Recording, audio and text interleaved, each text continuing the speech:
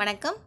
Welcome to குமலம் special இன்றைய வீடியோவில் நம்ம பார்க்க போகிறது ரொம்பவே ஹெல்த்தியான மல்டிகிரெயின் ஆட்டா வீட்டிலே எப்படி செய்யலான்றதை பற்றி தான் இந்த மல்டிகிரெயின் ஆட்டா செய்கிறதுக்கு என்னென்ன பொருட்களை எந்தெந்த ஈக்குவேஷனில் நம்ம ஆட் பண்ண போகிறோன்றதை வீடியோக்குள்ளே போய் பார்க்கலாம்.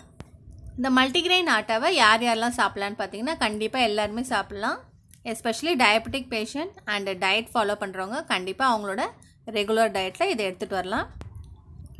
மெயினாக டயபெட்டிக் பேஷண்ட் அண்ட் டயட்டில் இருக்கவங்க எதுக்காக வந்து ரைஸ்க்கு பதிலாக கோதுமையை ப்ரிஃபர் பண்ணுறாங்க அப்படின்னு பார்த்தீங்கன்னா கோதுமையில் இருக்க நார் சத்து.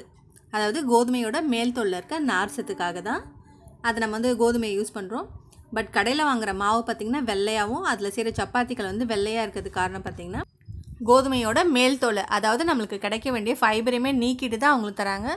ஸோ அந்த மாவு சாப்பிட்றதுனால நம்மளுக்கு வந்து ஃபைபர் கிடைக்குமான்றதே கொஞ்சம் சந்தேகம் தான் இப்போ வந்து மல்டிகிரெயின் ஆட்டானும் இப்போ வந்து மார்க்கெட்டில் அவைலபிளாக இருக்குது பட் அதில் பார்த்தீங்கன்னா நைன்ட்டி பர்சன்ட் ஆட்டாகவும் டென் பர்சன்ட் கிட்ட தான் பார்த்தீங்கன்னா மல்டிக்ரெயினை வந்து அவங்க ஆட் பண்ணுறதா சொல்லியிருக்காங்க. ஸோ அதுலேயுமே பார்த்தீங்கன்னா ரொம்ப ஒன்றும் பெரிய வித்தியாசமே இல்லை. ஸோ நம்ம இந்த மல்டிக்ரெயின் அரைக்கிறதுக்கு நம்ம வீட்லேயே எல்லா தானியங்களையுமே நம்ம வாங்கி அரைச்சிக்கலாம். இப்போ நான் மல்டிக்ரெயின் அரைக்கிறதுக்கு நாலு கிலோ கோதுமை கால் கிலோ பச்சை பயிறு கால் கிலோ சோளம் கால் கிலோ சோயா கால் கிலோ கொள்ளு கால் கிலோ கம்பு கால் கிலோ கேழ்வரகு கால் கிலோ கருப்பு கொண்டக்கடலை கால் கிலோ பார்லி. இதெல்லாமே சேர்த்து தான் நான் இப்போ இன்றைக்கி அரைக்க போகிறோம் முதலே பார்த்திங்கன்னா நான் முதல் நாளே க கோதுமையை வந்து கழுவி காய வச்சுருக்கேன். ஸோ இப்போ எல்லாத்தையுமே பார்த்திங்கன்னா நல்லா ஒரு ட்ரையான துணியில் தான் நல்லா வெயிலில் போட்டு காய வைக்க போகிறோம் கோதுமை நாலு கிலோ அண்டு எல்லா தானியங்களையுமே நல்லா வெயிலில் ஒரு நாலுலேருந்து அஞ்சு மணி நேரம் நல்ல வெயிலில் நல்லா காய வச்சு மிஷினில் கொடுத்து நம்ம அரைச்சிட்டு வந்தோம்னா நம்மளுக்கு நல்ல நைஸாகவே அந்த மல்டிகிரெயின் ஆட்டா நம்மளுக்கு கிடைக்கும். நிறைய பேர் பார்த்தீங்கன்னா ஓட்ஸையுமே இந்த மல்டிக்ரெயின் ஆட்டாவோட ஆட் பண்ணி அரைச்சிக்கிறாங்க. பட் நான் ஆட் பண்ணல. ஏன்னா நம்ம நாட்டில் விளைஞ்ச இந்த தானியங்களே பார்த்திங்கன்னா அதிகப்படியான ப்ரோட்டீன் விட்டமின்ஸ் அண்ட் ஃபைபர் எல்லாமே நிறைஞ்சிருக்கு. ஸோ நான் அதனால் வந்து ஓட்ஸ் ஆட் பண்ணல. உங்களுக்கு விருப்பமாக இருந்தால் நீங்கள் வந்து ஓட்ஸ் கூட ஆட் பண்ணிக்கலாம். இந்த மாதிரி ஒரு நாலுலேருந்து அஞ்சு மணி நேரம் நல்லா எல்லா தானியங்களையுமே காய வச்சு நான் மிஷினில் கொடுத்து அரைச்சிட்டு வந்துட்டேன். இப்போ பார்த்திங்கன்னா நல்லா சாஃப்டாக நல்லா வந்து நல்ல நைஸ் பவுடராக நம்மளுக்கு வந்து இந்த மாவு கிடச்சிருக்கு. பார்க்குறதுக்குமே பார்த்திங்கன்னா அவ்வளோ ஒன்றும் டிஃப்ரெண்ட் இல்லை. டேஸ்ட்டும் வந்து சப்பாத்தி மாவு டேஸ்ட்லேயே தான் இருந்தது.